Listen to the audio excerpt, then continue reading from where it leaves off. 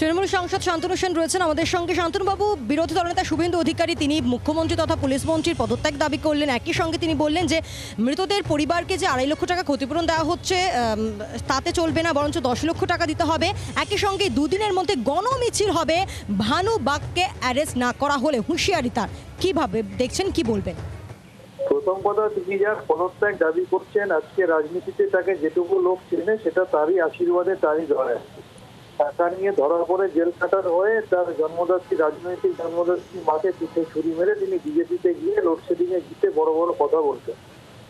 আমাদের নেত্রী মমতা বন্দ্যোপাধ্যায় যেটা করতে পারেন, সেটা বিজেপির কারোর করার হিম্মত নেই।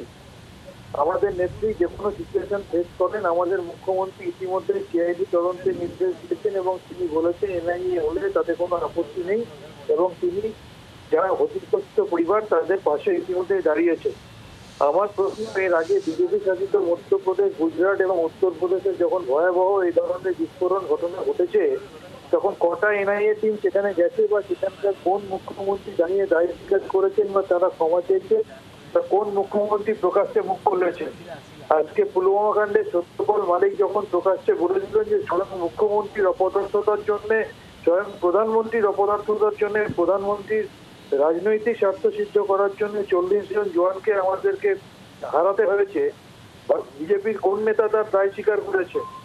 তৃণমূল কংগ্রেস যেটা পারে, মমতা ব্যানার্জি যেটা পারে, বিজেপির কোনো নেতার পুরো কোনো হিম্মত